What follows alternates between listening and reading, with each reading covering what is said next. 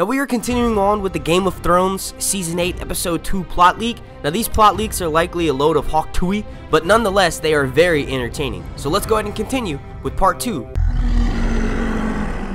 By the time this video goes up, you still have time to enter the contest. It will only be a few hours, but make sure you follow that gleam.io link down below, pause this video, and make sure you enter that contest every single way possible. Now, the last time we were mentioning these plot leaks, we left off with everyone in Winterfell waiting for Daenerys' arrival, so let's pick off right back there. In Winterfell, everyone is standing in the courtyard of Winterfell preparing for the gates to be opened. Lyanna Mormont and Yohn Royce are angry about Sansa's refusal to accept the crown and her order to meet Daenerys in the courtyard. However, Drogon and Rhaegal are flying above Winterfell and the entire castle has been cowed in fear. Arya holds her blade tightly and Bran tells her she won't use it on Daenerys. She can't. They need her. Sansa and Arya are surprised by this. Arya doesn't like the idea of someone forcing Jon to do anything or the North. They had enough of that with the Lannisters. She mentions Tyrion, but Sansa tells Arya he is kind and perhaps Daenerys Targaryen isn't so bad if she has come to help them save the North. Arya argues that she doesn't believe that, and if she does, she's stupid. Daenerys just wants the northern army to march south. Sansa corrects her. They have the north and the Vale, and that gives them more power if they negotiate, rather than are forced to surrender after battle. Lyanna asks if this negotiation is, you know, a negotiation or a surrender, but Sansa isn't able to answer her. The gates open, Daenerys rides in with Jon right behind her. Jon smiles when he sees Arya and Bran, but he is unable to reunite with them as Daenerys is introduced. Okay, first of all, Ah, let's just continue on. However, nobody bows when Missandei declares all of Daenerys' title, which Lyanna rolls her eyes to. Daenerys moves to criticize them, but Jorah argues that the storm they rode through might have made it possible for them to hear the news. Impossible to hear the news. Sansa steps forward, nervous, and asks why she is there and why she calls herself Queen of the North as well as the South. Sansa is pretending not to have heard the news in order to save Winterfell's Daenerys' possible wrath with dragons above them. Daenerys says that Jon has bent the knee. Lyanna and Lord Glover argue that it was not his to give. Lyanna steps forward and states that the last time the North was ruled over by a family which murdered Starks, meaning the Boltons, they went to war, both against the Lannisters, which stand here now, and the Targaryens through the Daenerys. Jorah steps forward. Lyanna is displeased with Jorah and pretends to not know who he is, for no Mormont would stand for a Targaryen. Things are getting heated. Sansa asks if that is true to Jon. She looks very sad. The script says that Jon looks ashamed before he answers yes. The dragons shriek again and Sansa blinks uncomfortable. She takes a breath. Ghost parts his way through the crowd and comes to stand in front of Sansa, Arya, and Bran. He sees Jon and howls. This frightens Daenerys and the others, but not Jon, Davos, and Tyrion. Sansa holds the scruff of Ghost's neck, and after a hard look from Lyanna, Glover and Royce, and then a determined look from Arya and a vacant look from Bran invites Daenerys into the castle to have bread and salt. Okay, so there are so many things wrong with that paragraph I just read. But uh, yeah, let's let's go into it. So I think what the person who wrote this plot leak was going for is a very intense arrival with Daenerys. You know, kind of like what Game of Thrones is famous for. Like sometimes the best of friends have one of the worst introductions. You know, that is definitely a common theme in Game of Thrones. But the fact that Daenerys would just be, you know, sort of pompous like they're leading her to believe, I doubt that. Her and Jon just had boat sex, so if anything, you're gonna be close, and I doubt she's gonna be so uppity queen with everyone in Winterfell. She's gonna be more like, oh we're kind of family now. You know, me and Jon are eventually going to get married. Maybe I should try to get on these people's good sides. Having my dragons, who, by the way, according to the episode 1 plot leak, I lost control over. I'm to have these dragons fly for Winterfell and scare the out of everyone without letting them know, hey, I'm here to help you. That's just not to happen. It's not to go down like that. There's no way that Daenerys is going to go and arrive in Winterfell on rocks and be like, play sort of this like icy queen role. It's not to happen. Um, as far as Lyanna rolling her eyes at Daenerys' title. And I could totally see that happening. Um, Daenerys does have a long list of titles, and we know that people in the North are not as formal as they are in the South, and not as formal as Daenerys is, is used to. You know, Jon Snow didn't bow to her, and he he eventually did, yes, I know, but he technically never got down and bent the knee and was like, "Yeah, you're my queen, you're my queen," blah blah blah. You know what I mean? That never happened. So I I, I don't think that was a little bit of taste of how the North is for Daenerys. I don't think she's gonna go up there expecting everyone to be complete 180 of how Jon was in the Dragonstone Keep when Jon came with 13 people and she had her entire army on Dragonstone with all three dragons. There's no way that you know she's gonna expect the North to just bend to her will like that. Um You know, it is possible that the dragons are gonna fly over Winterfell. I don't think it's gonna be used as kind of like an intimidation tactic, like this, you know, this part of the plot leak is claiming. Um, I'm excited to see Ghost. I definitely think Ghost is gonna be showing up. Uh, if not episode one, episode two. Um, I don't think that he's going to howl at Jon. I think he's going to go and immediately rush up to Jon and go and greet him. And that reminds me of the part where they said that Jon isn't able to go up and greet Arya and Bran. No, I don't think these formalities are going to be that much of a thing or a presence in Game of Thrones Season 8. We just don't have time for it. Like, yes, we have time for clever introductions and all this crap, but I honestly think it's going to be more so Sansa will be in the Winterfell like in the head chamber where they have all of the you know the king in the north meeting and stuff. That's where they're going to be at. That's when daenerys is going to show up. I think it's going to be a bit of a role reversal. We saw how jon showed up with her. She's in the dragonstone throne room. I think it's going to be something similar to that. Like they'll be you know not necessarily in the winterfell throne room but just in the winterfell like meeting room. Sansa brandon and arya will be up at the table. You know maybe ghost is present in that scene. And then daenerys shows up. And i think honestly jon should be the one who comes in and gives her titles because no one knows who the hell missandei is. So it's not as you know effective if you have someone someone who no one in the North cares or knows delivering these titles to introduce this woman who's here to either help you or murder you. You know, it's just not going to go down like that. But you guys let me know what you think about, you know, that part of uh, episode 2 of Game of Thrones season 8 according to this plot leak. Okay, so continuing on with this next part, we have Theon and Euron in Volantis. So, Theon's point of view in Volantis. Theon's ship is searching for Euron's near Volantis. They are still bothered by what happened in Braavos, and Theon says he isn't sure they'll fight for Yara if it looks like Euron controls the sea. One of the Ironborn argues that it might be too late to find him. Euron isn't going to the Iron Islands. Theon asks why he would do that. The Ironborn man asks why he would give why would he would have gone to Braavos and then Volantis? There's something they don't know happening. Theon says he doesn't care. The only thing he cares about is rescuing Yara. They arrive in Volantis, and the Ironborn says that he sees the Golden Company, the largest group of sellswords, is in the port. This is from Euron's point of view in Volantis. Euron boards a ship owned by the Golden Company. He meets with Harry Strickland and asks to buy their service in a fight for the Iron Throne. Strickland laughs at this and calls Euron mad due to his reputation and that he is too poor to afford them. Euron says he has come with a loan backed by the Iron Bank. Strickland argues that they won't fight for a war that cannot be won. Euron is allied with Cersei, who is fighting the Dragon Queen. Strickland laughs at this and says that in Essos, Daenerys Targaryen is seen as the chosen by the Lord of Light. She has dragons. Euron never said he wasn't he was fighting for Cersei. He plans to take King's Landing and then give it to Daenerys through marriage. Strickland stops for a moment and reminisces about the Golden Company's history. It was founded after they lost the Blackfyre Rebellion. They followed Targaryen pretenders until there were none left. But things have changed now. Daenerys Targaryen is the breaker of chains, and her existence threatens the slave trade in Essos, and thus the existence of the mercenary companies. He cannot fight for a ruler who will destroy them. Euron says that that is why the Iron Bank wants the Ironborn on the Iron Throne. They know the true price, and with the Ironborn, they will turn a blind eye to slavery. And Euron doesn't want to be some queen's pet. She'll be his until he's tired of her. Strickland agrees to sail with Euron. I don't really have too much to comment on Theon's, you know, uh, showing up in Volantis. We obviously know he's going to be following Euron, and in those moments, he wouldn't probably know that Euron is there to get the Golden Company. So that conversation totally makes sense. If this is the route the show goes to send Theon in search of Euron, you know, pretty much going wherever he goes. I honestly think that the first time he sees Yara, he's going to jump the gun, so to speak, and try to go and rescue her. Maybe he'll fail and just escape again with his life, and that causes Yara to get physically, you know, wounded. Uh, that by having her tongue removed, like Euron is forced to watch. Uh, Euron has forced Theon to watch Yara get her tongue removed. That's something that Euron is known for in the books. Um, I see something more like that going down. Uh, as far as Euron's conversation with Harry Strickland, I hope they bring up that part about the Blackfyre Rebellion and how the Golden Company was founded by, you know, a pretender for House Targaryen. I would totally love to see that happen. You know, we might even get a bit of a flashback. I know we won't, but I'm just saying I would love to hear someone talking about that. Um, as far as them saying, you know, about wanting to keep slave trade active in Essos and not just in Essos and also in Westeros too, because it means you know more money for the sellswords. That is definitely going to be the motivation of the only reason why the Golden Company would join Euron. Um, Euron, you know, at this point. I do think that he's planning on betraying Cersei.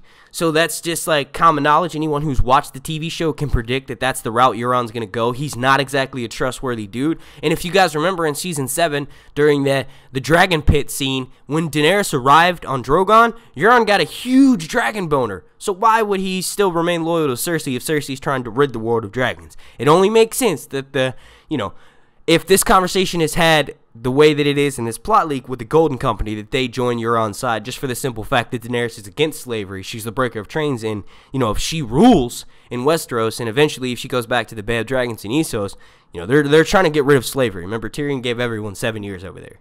Continuing on here, we have Melisandre from her point of view, also in Volantis with Theon and Euron. Theon is off ship and walking around the streets trying to find where Euron is gone. He is stopped by Melisandre, who asks who he is trying to save, his sister or himself. Theon answers his sister. Melisandre says that she sees him in the flames and what he must do. She has an offer for him, and she takes him into a temple. Kinvara appears and says that she has raised an army for the one who was chosen by the Lord of Light. Melisandre looks at a nearby flame uncomfortably. Okay, so, you know, Honestly, I did think that Melisandre would be going to Volantis. A lot of us did. We know that she said she had to go to Essos, but her ultimate, you know, her ultimate dream kind of is that she dies in a foreign land. So she'll be back to Westeros. So if that's the case, if she does go to Volantis, she's going to go and get the Fiery Hand. Which, if you want to know more about who the Fiery Hand, you can actually click right up here, and that'll take you to a video that I did a while back explaining who the Fiery Hand is and my theory pertaining to how that will affect Jon Snow in Season 8. Um, as far as him, as, as far as her dialogue, you know, saying that she she sees him in in the flames, that's honestly Melisandre's go-to, and I would not be surprised if she's trying to seduce Theon. You know, even though he doesn't have a pecker, he does have king's blood in him. So it would not surprise me if we find Melisandre up to her old tricks, trying to seduce Theon. You know, only to find out that hey, he doesn't have a pecker, and you kind of just you, need his blood. It would be interesting to see if the leeches don't come out again. Now we are continuing on with Winterfell. Daenerys and crew prepare to enter the Great Hall. She briefly speaks to Jorah. He's upset about his niece. Daenerys offers to make him the head of House Mormont, but he refuses. He'd rather stay by her side, especially now. He looks suspiciously suspiciously at Jon. Daenerys asks if he is jealous. He says no, but to be wary of those around her. Okay, Daenerys is flustered at this and says that everyone also speaks of how Eddard Stark was an honorable man and that Jon is just like him. She asks if he doesn't like Jon because of that. Jorah says he likes Jon and that he's a good man, makes it all the more dangerous that he is so close to her when he may not yet have secured an alliance. A servant approaches them and leads them in. Daenerys and Jon walks into the Great Hall together. Upon entering, Sansa, Arya, and Bran are situated at the right of where Jon would sit. The servant leads them to the table, and Daenerys is seated at the head of the table. The Northern Lords are upset by this, especially as Dothraki and Unsullied sit by them at the tables. It's not a feast, but there is bread and salt at each table, and Sansa encourages them all to eat. Tyrion is sitting beside Daenerys and he tells her it is custom that this is the custom in Westeros. Daenerys is aware of this custom and Tyrion reminds her that the Starks take it more seriously than others considering. Daenerys asks what that means and Arya speaks up about her brother and mother all being killed by all being all their men being killed at the wedding. Varys says that is wrong, and Missandei agrees. Daenerys gives her condolences with a smile, but Arya says her family has been avenged. Here, male Frey is dead. Varys mentions that he heard a curious tale, you know, kind of like basically what Arya did. Um, and he looks at Arya, but does not elaborate even when everyone is looking his way. Jon asks his siblings how they are. Arya is pleased to see him. Bran says he has something to tell him later about his journey beyond the wall. Yeah, I'm not I'm sure that's not the only thing Bran has to tell him. Jon wavers and Sansa breaks in telling him that his friend Samwell Tarly has arrived from the Weech. Reach, he asks where he is, and Sansa says he has been looking through what survived the burning of the library. She called for him, though, but the girl beyond the wall mentioned he went to see the dragons first. Daenerys turns to Tyrion. The girl from beyond the wall, I'm assuming you're referring to Gilly. Daenerys turns to Tyrion. Tyrion looks at his goblet of wine uncomfortably. Jon asks what's wrong, and Daenerys looks towards Jorah. Sansa senses something is amiss and looks towards Lyanna. Lyanna is seeing seething at her chair. Sansa nods in her direction. Lyanna bites her lip, sighs, and stands up dramatically. She asks why the North should bend the knee to any foreign queen. The Starks look at Jon, and he stands up, declaring that he bent the knee because Daenerys can help save the North. That's what matters. Lyanna doesn't like this answer. She seems to be going off whatever plan Sansa has concocted because Sansa gives Lyanna a warning look, which Tyrion sees. Lyanna doesn't listen and says that it is convenient for the Dragon Queen that only she can save them when they have heard it was a dragon which brought down the wall. Daenerys frowns. Jon says that she saved him and his men and helped bringing proof to the south so they'll have enough men to fight. Sansa interrupts them. She says whatever Cersei said, she lied because that's what she does. Now, that, that's probably one part out of this entire Winterfell plot from this part of the plot leak of episode 2 that is true. Sansa will definitely, you know, tell them if they try to be like, well, we've got an alliance with Cersei. Sansa will be the first one to interject herself and say, nope, she's a liar. Don't trust anything that cruel witch says. Daenerys asks what she means, and Sansa recounts of when she was a hostage under the Lannisters and remembers their cruelty. Yohn Royce calls out that two of her hostage takers sit among them. Varys and Tyrion look uncomfortable. Sansa says it is in the past, but she appears unhappy about it. Arya interrupts and asks what Daenerys plans to do to prove herself worthy of being the North's queen. Daenerys says she will march beside the North in their war. Arya corrects her that it is her war too. Bran, who has been quiet until now, says she will fight for them. She must if she remembers the Undying. This makes Daenerys uncomfortable, and she asks how he knows what happened in Qarth, but Bran isn't giving her the opportunity to, to answer. For some reason, Sam runs into the Great Hall holding the same raven from before, saying that a small army of White Walkers have been seen outside the Dreadfort. Jon says it is the strongest fortress in the north after Winterfell was raised. If they could defeat some of the White Walkers there, it could help later and prove to the north that they could be beaten. Sansa turns to Daenerys and asks if she will march for the north. Tyrion begins to speak, saying that they just arrived, but Daenerys interrupts and said they will leave tomorrow with the entire army. She stands up and gives a speech about how she is their queen and they will fight together. Uh, you know, I have a lot of issues with a lot of the lines of dialogues from that last part. You know, and this is this. I guess episode two and episode one are going to be heavily Winterfell focused. Um, honestly, the main thing that's calling my attention is the fact that everyone keeps looking at everybody. That's not exactly keeping along with the theme of Game of Thrones. Now they are never, you know, known to shy away from stuff like awkward scenes. That's totally along with the theme of Game of Thrones, but to think that there's just going to be this entire scene where Lyanna's being pissy and she's looking at every like that's just not going to happen. There's no time for that. Now, I totally see Arya and Sansa, you know, asking Daenerys more so Arya. I think Arya is going to be completely void of manners, and I think that that's going to end up working for her and Daenerys' relationship in the long run because I made a prediction that Daenerys and Arya will likely become extremely close. It just makes sense that Arya loves Jon. She wants him to be happy. She will probably see how happy they are together, and you know she'll enjoy Daenerys for that. But that's not gonna say that she won't give her a hard time at first. I totally see Arya saying, "Hey, what you know." How, how are you gonna provide for us? Like, yeah, it's convenient to say that you know you're here and you're here to help us. But it's not just our war; it's your war as well. So what's going to happen when this war is over? Are you going to try to rule the North, or are you going to go back down south to King's Landing? I honestly, don't think anyone in the North would have a problem with that if that's what Daenerys plans on doing.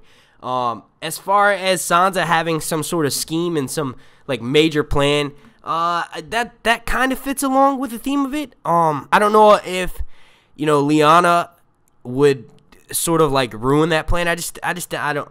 Not a big fan of that. Um, I'm not a big fan of all of like the character choice that the this the writer of this plot leak is taking for Lyanna. Like they're honestly they're making her seem like a bit of a nuisance. Like I do remember that in season seven when we were watching, you know, when Jon was deciding to go and go ride south and basically go and get Daenerys and see if she can come and help them. Uh, Lyanna did have a lot of objectifications for that. Like she was totally against that, 100%.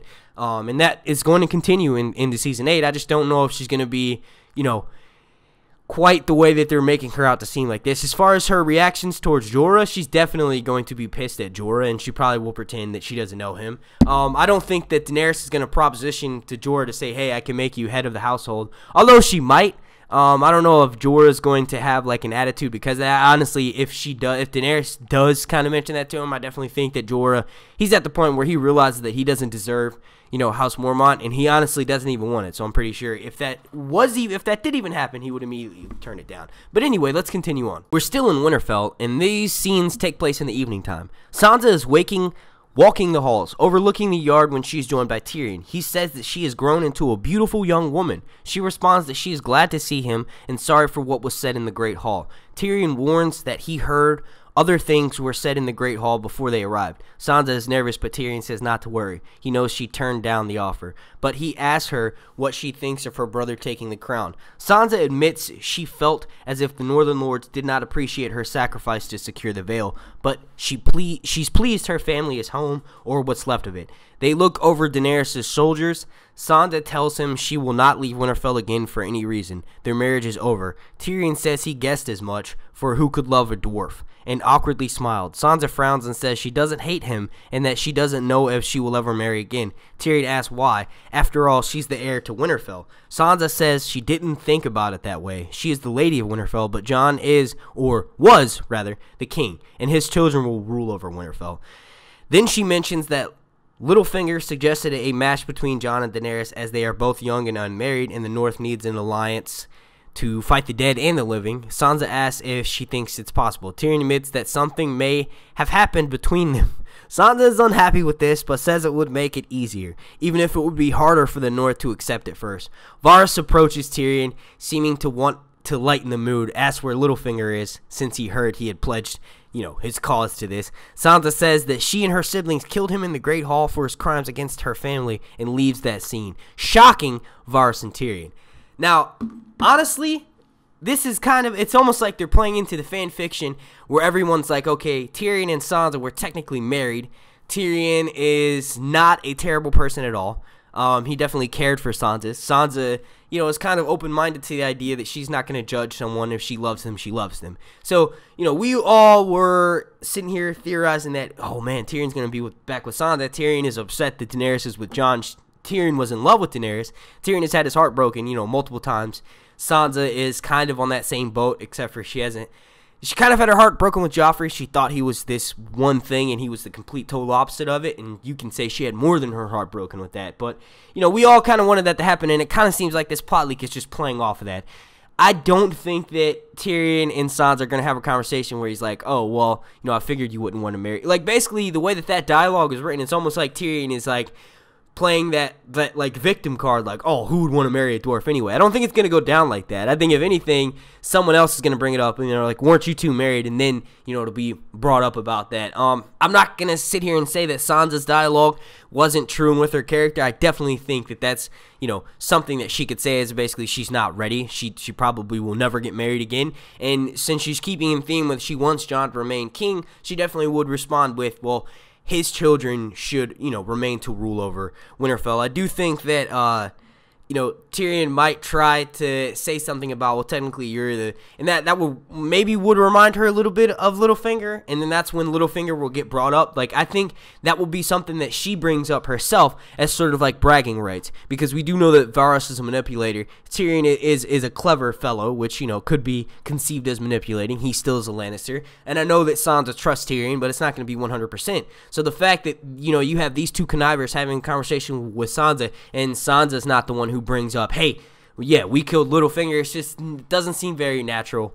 Um, you guys, let me know what you think about this this conversation between Tyrion and Sansa. You think this is just straight, you know, one of the parts where it's just straight fan fiction, or do you think you could see this conversation going down in a similar way that this supposed plot leak is claiming? This is continuing on at Winterfell. Like I said, a majority of this episode will take place at Winterfell, according to this plot leak.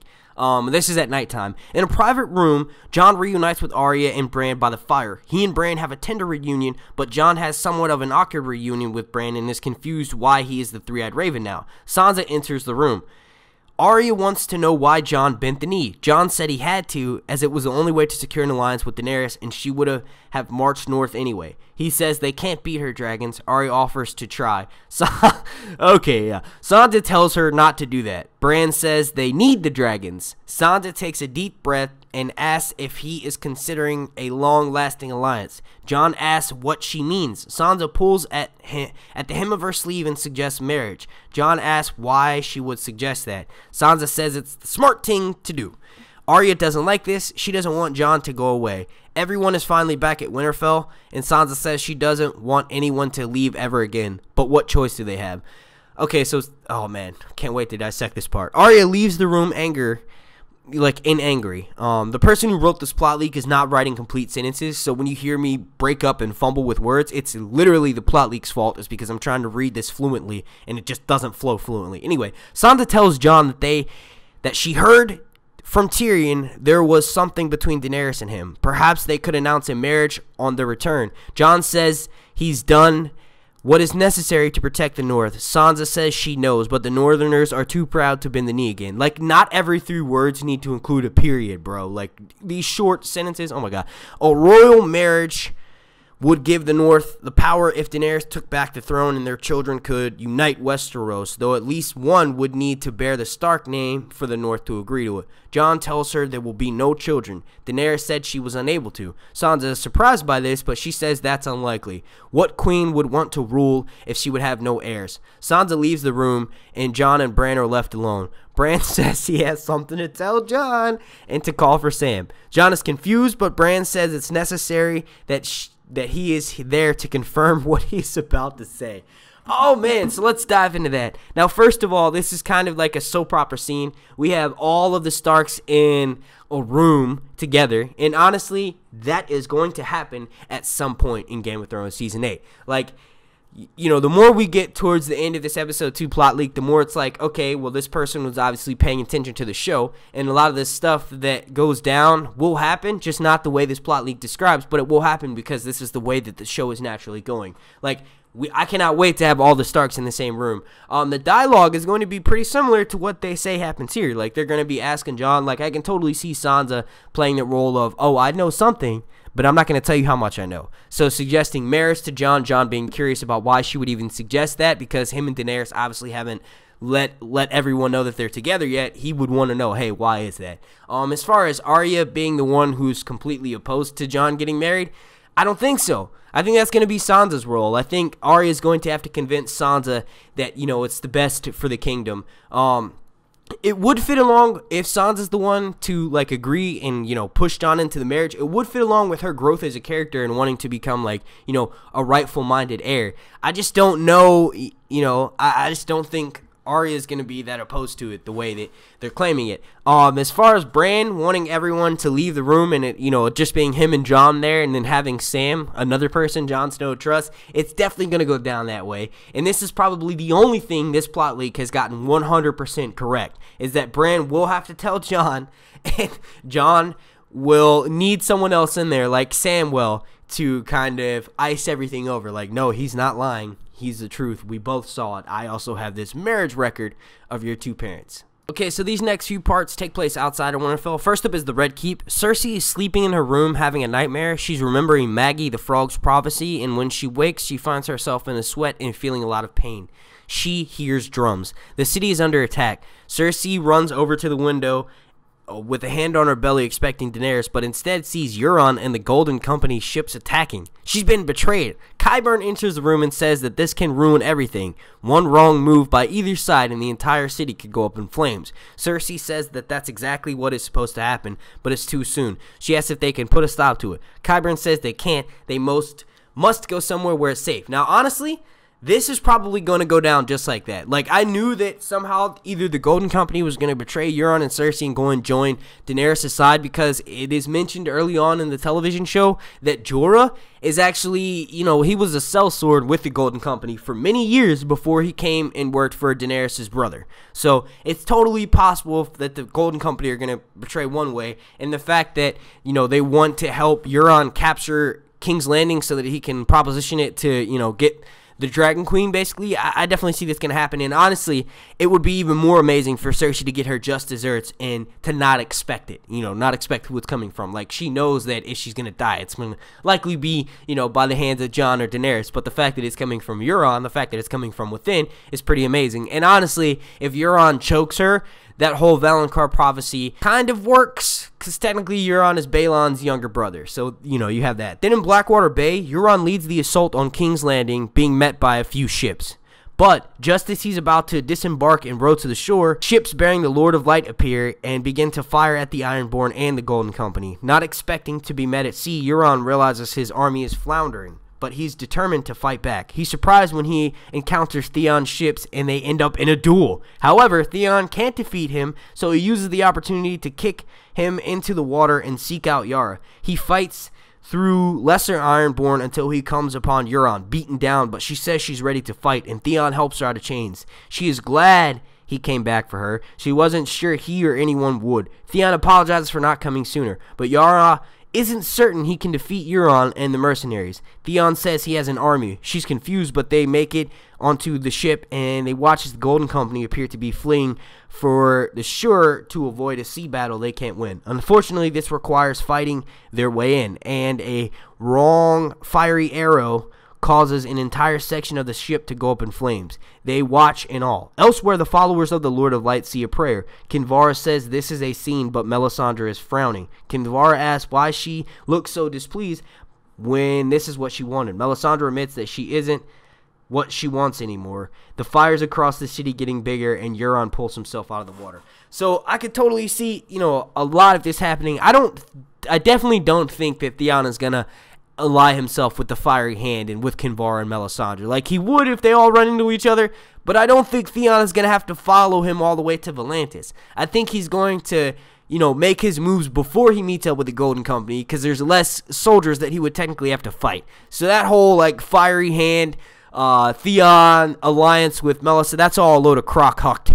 Um, as far as Theon the way that he rescues Yara, totally is going to go down that way. Theon and Euron are going to square off. You know, we kind of had the part one of that last season in episode two where Theon attacked some of Daenerys' ships at sea. And we had that duel where Theon was thrown into the sea. So with Game of Thrones being, you know, history and repeating itself, I could see something similar happening where Theon is the one to throw Euron into the ocean. That would be, you know, kind of poetic. Uh, then in the Red Keep in the cellars, Cersei and Qyburn are waiting um, for an end to the fighting. She asks if they are safe down here because it feels as if the entire castle is shaking. Qyburn says it's the city burning down. Cersei doubles over in pain. Then back to Blackwater Bay. The fires get more intense across the city, and the debris is causing the ships to catch fire. Death is everywhere, by sea, by ship, and due to the catastrophic flames. Theon and Yara arrive back on their ship. Theon asks Melisandre if she saw this in the flames, all those people dying. He has already done so much. All he wanted to do was save his sister.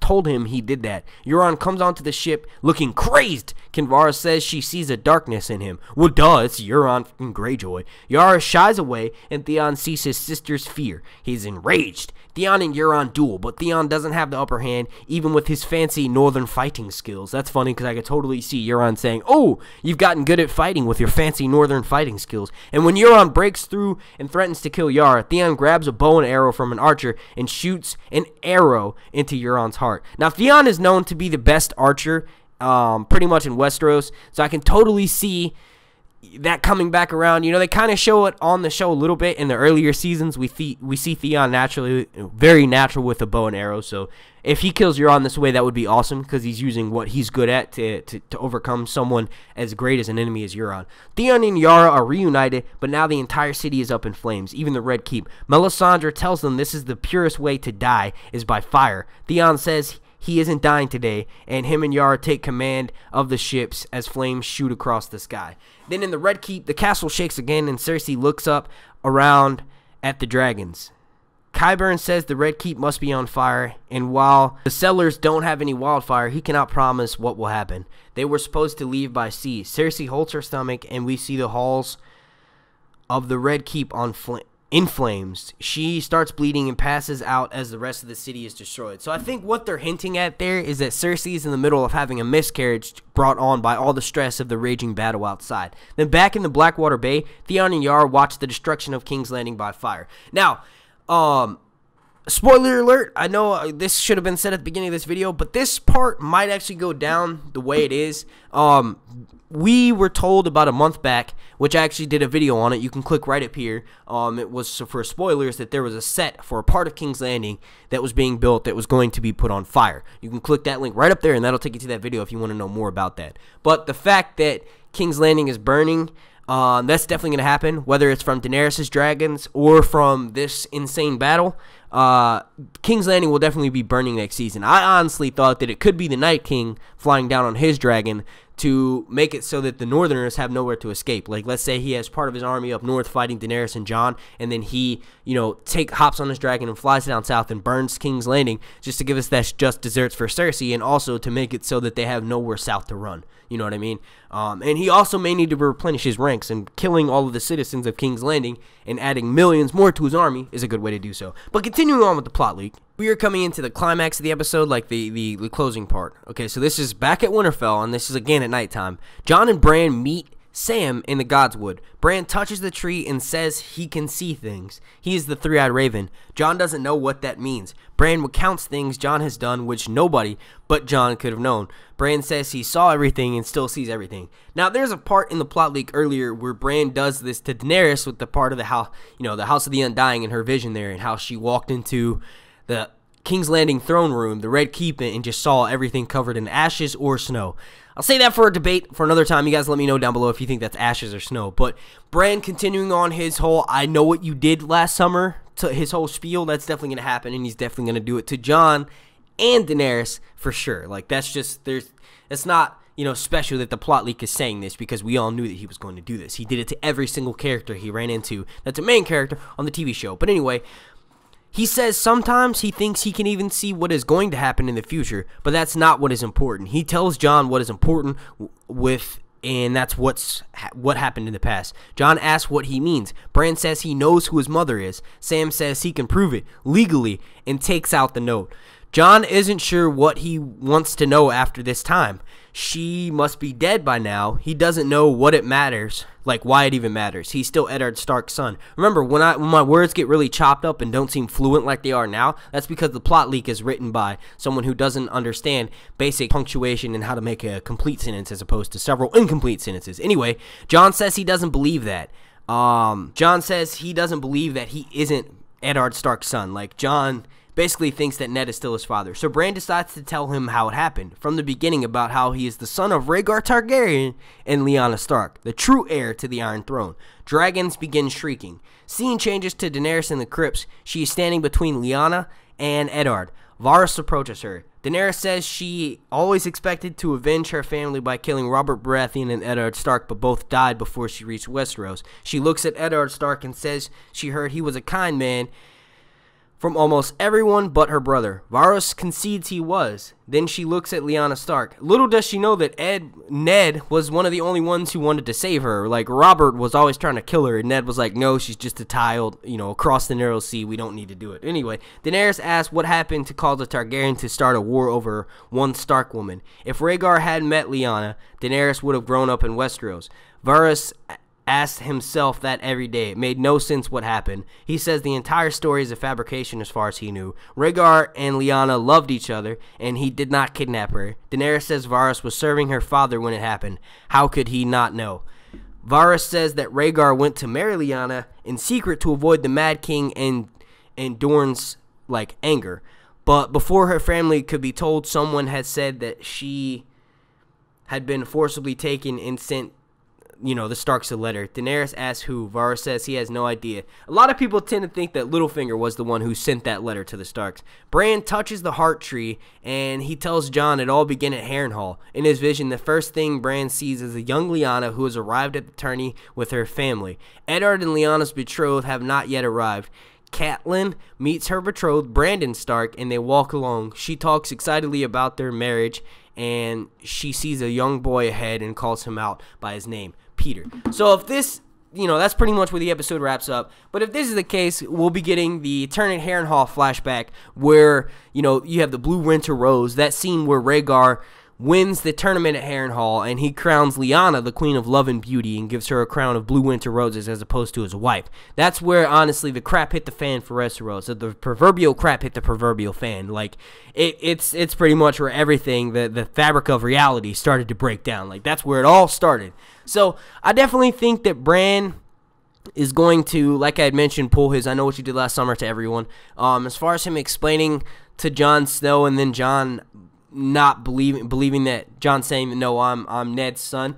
Uh, that's just not in in character with Jon Snow. He's been told his whole life, even though Ned raised him as one of his own sons, he's been a bastard. He's been a Snow. So for for Jon to just be like, "But but I'm Ed's son," no, he's he's known his entire life that he's not Ned Stark's son. Like he might Ned might have treated him like he was, but he's known deep down that something's not right. Something doesn't fit there. It just makes sense in the novels. He feels like he's never a Stark. But I, I would love to see this Turning Harrenhal flashback. Honestly, I kind of like this part of the plot leak, so I'm not going to bash it too much. I kind of wish that a lot of the stuff that is is being listed in that section of the plot leak goes down the way it is. So I'm gonna leave this one up, you know, for the bashing part of it, up to you guys. You guys let me know down in the comment section if you think Jon Snow's true lineage reveal is gonna go down this way. This has been a super special long video. I want to thank everyone so so much for watching. If you could please slap a like on this video, the like goal will be 200. If you want to enter into that contest, go ahead and do so. You have a few more hours to do so. Just click on that gleam.io link down below and make sure you enter into the contest every single way to sundown